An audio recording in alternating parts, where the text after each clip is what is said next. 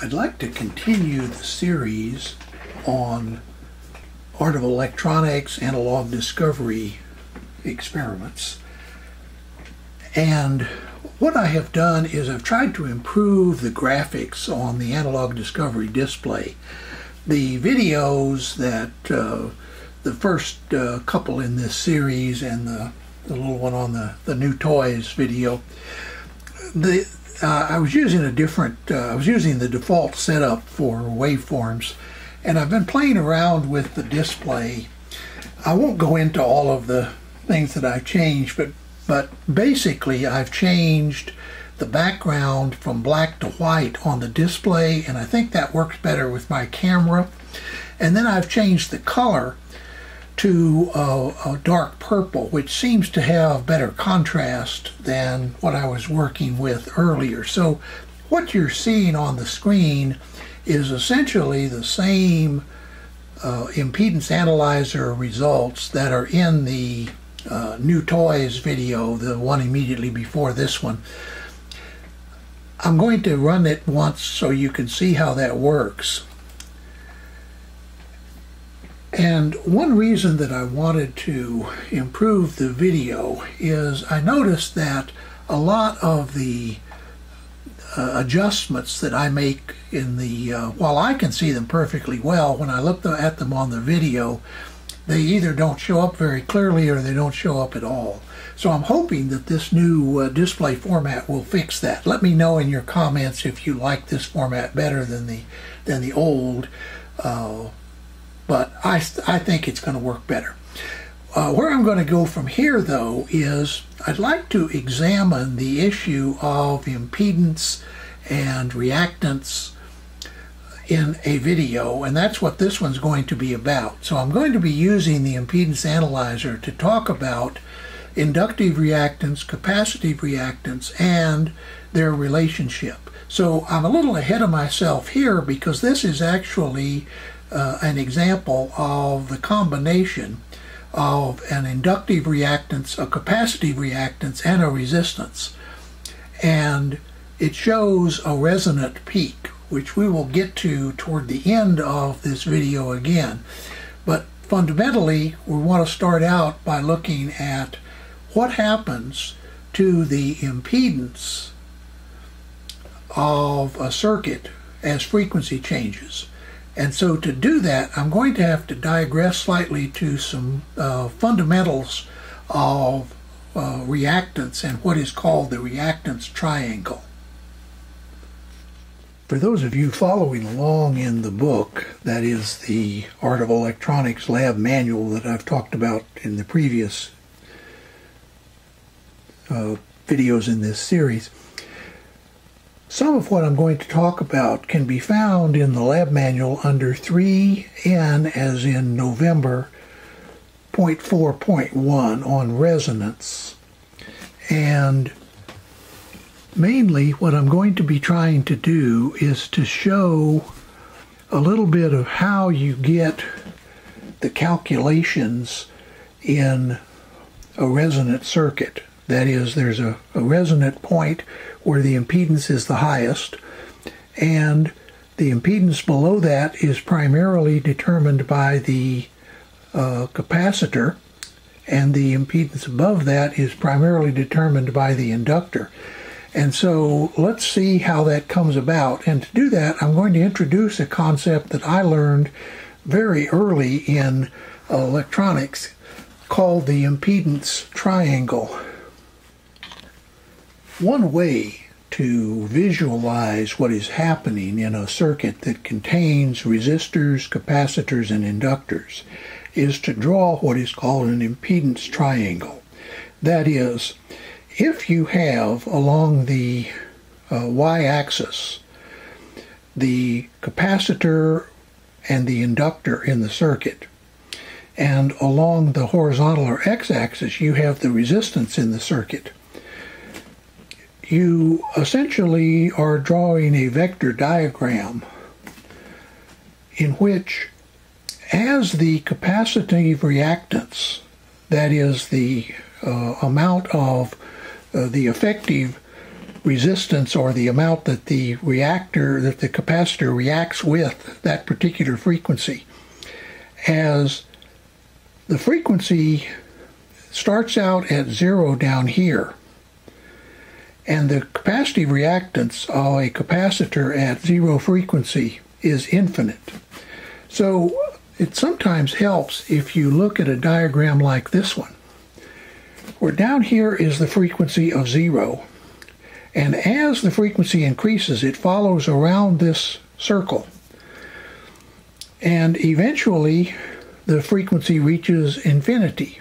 Now, of course, there's no such thing really, but basically think of this as very, very high relative to the circuit you're working with. So in some circuits, this could be a megahertz, and in others, it could be 100 gigahertz. But at any rate, it's very, very high frequency. And down here, this is actually DC, direct current not moving at all. The capacitive reactance is the amount of uh, reactance that a capacitor has. The inductive reactance is also uh, the amount of reactance that an inductor has. At resonance, the capacitive reactance and the inductive reactance cancel. That's this point here, shown as uh, a pure resistance. That is when XC equals uh, XL, as shown here. So what does that mean on our impedance triangle? Well, the impedance of a circuit is basically the vector sum of the resistance and the reactance. Now, when the frequency is down here where the capacitor is dominating, it is it would be a similar triangle down here. So I'm drawing it in the upper part. That is, I'm drawing this for uh, a point above the resonant frequency.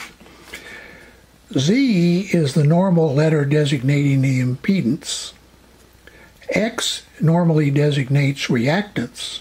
And of course, R is resistance. So here is R, here is XC, here is XL, and if you have a certain amount of resistance and a certain amount of, in this case, inductive reactance, that produces an impedance, which is the hypotenuse of this triangle.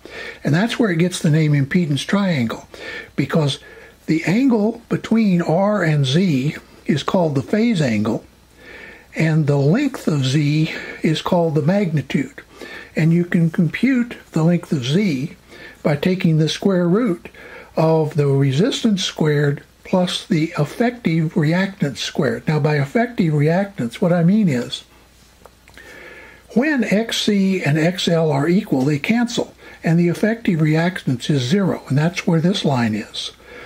When the frequency is down in this corner, this quadrant, the capacitor dominates, and when the frequency is in this quadrant, the inductance dominates. So, even though there might be a capacitor and a, an inductor in the circuit, the effective impedance is determined by which one of those is larger at a particular time. I find it useful to visualize this in my head when I'm looking at uh, displays like the analog discovery. So now let's move on and look at a couple of uh, uses for the Analog Discoveries impedance analyzer and and then bring it all together by coming back to the concept of resonant frequency.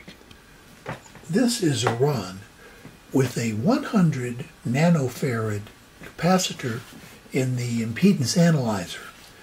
You will notice that on the left hand side over here there is the, it starts out at one hertz.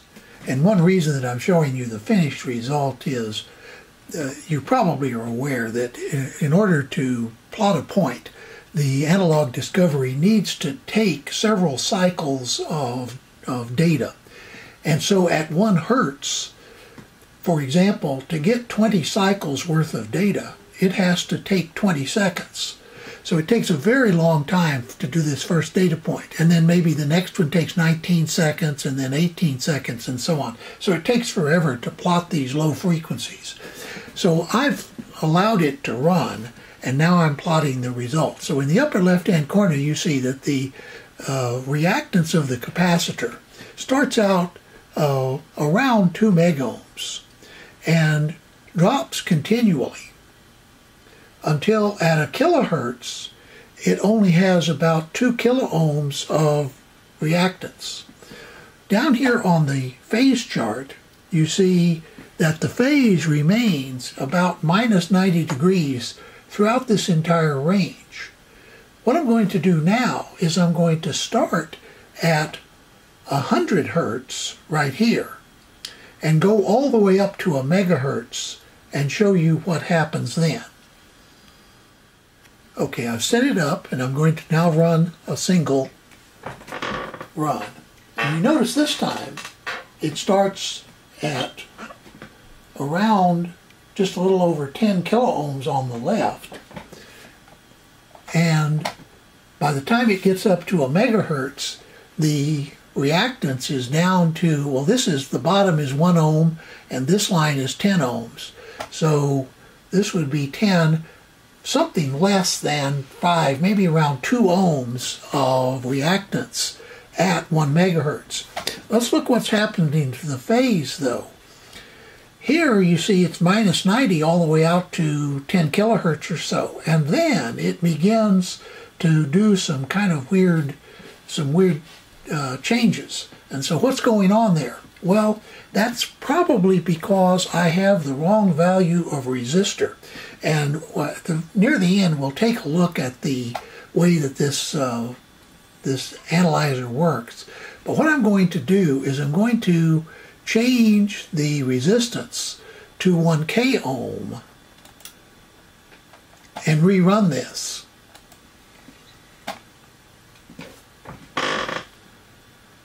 It says the resistor is still too high.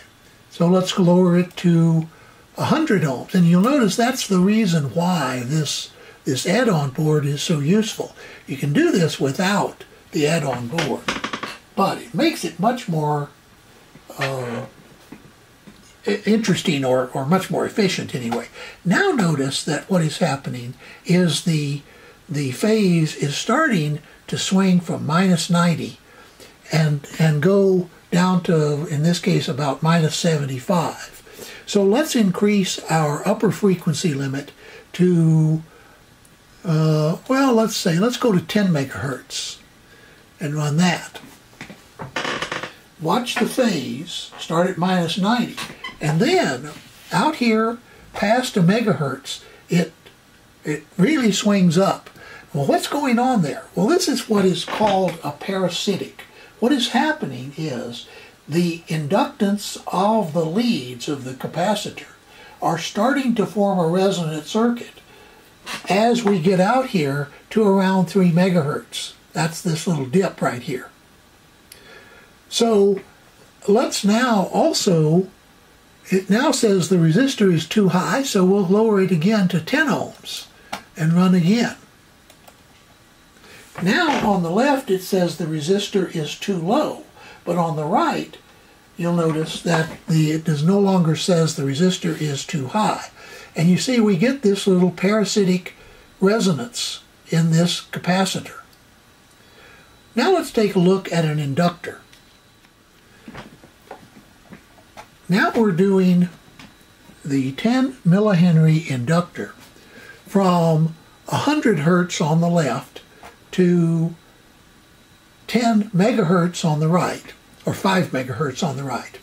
Notice that we're getting a resonant peak at around 300 kilohertz. That is due to the stray capacitance of the leads of this inductor. In other words, it's no longer an inductor as the uh, frequency begins to approach 100 kilohertz or 200 kilohertz, the stray capacitance starts to parallel the inductor. And at about 300 kilohertz, the stray capacitance equals the uh, reactance, or I should say the reactance of the stray capacitance equals the reactance of the inductor. And that's where we find a resonant peak. And notice that the phase also switches and goes negative at that same point. So just as with the capacitor showing lead inductance, stray inductance due to the leads, the inductor is showing stray capacitance due to the leads. So this is common. Now let's take a quick look at the analog discovery circuit, that is the impedance analyzer circuit. And then we'll finish up by putting these two components in parallel and doing a resonant circuit. Here is how the analog discovery is connected to do impedance analysis. The scope 1 input is connected to WaveGen 1's output and that signal, that is the WaveGen 1's signal, is one side of the load. The other side of the load is connected through a resistor to ground. And scope 2 is connected at this point to monitor the voltage across that resistor. And so this is how the impedance analyzer gets connected. The add-on board and you can download this schematic from the website, so don't don't try to follow it necessarily here. Is basically just a way to switch using relays a series of resistors in uh, basically decade steps and consists of a series of relays and resistors that can be, the relays can be controlled by the analog discovery, and then those relays in turn switch resistors in and out of the circuit. It makes it much more convenient to use the impedance analyzer function, but please remember you do not need to have this board to do this work. You can make these connections yourself and do impedance analysis using your analog discovery as long as you hook it up this way. Now, that may mean that you'll have to manually change this resistor depending on the load you're doing and the frequency range that you're working with. And that's convenient using the add-on board, but not essential. Now we have paralleled the 100 nanofarad capacitor and the 10 millihenry inductor and we are running a frequency range from 100 hertz on the left to 50 kilohertz on the right. We're using a resistor of 100 ohms and here is the curve. You notice that our resonant point is around 5 kilohertz. This, this is 5 kilohertz, this line right there, so it's just a little less than 5 kilohertz. And that is the point where the phase changes suddenly from uh, a very high positive value and swings and goes negative to negative phase. In this case, eventually it goes to negative 90 degrees. So this is a characteristic of uh, a resonant circuit. And what I've been trying to show here is how you can use the impedance analyzer of the analog discovery to investigate the characteristics of circuits. Now, as I've said before, the uh, like all instruments, the, the analog discovery has limitations, and one of those in this case is it can only go up to about 30 megahertz. But in for investigating basic electronic phenomenon, uh, everything from uh, simple RC circuits all the way up to complicated uh, phase lock loops and uh, transmitters and things of that sort.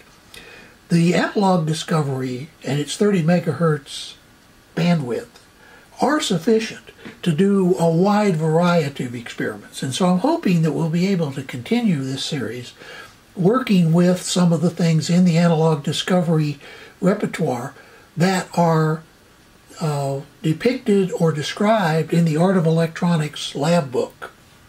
Once again, I hope you've enjoyed this and you'll look forward to some future videos. But as I usually say at the end, in the meantime, have a nice day.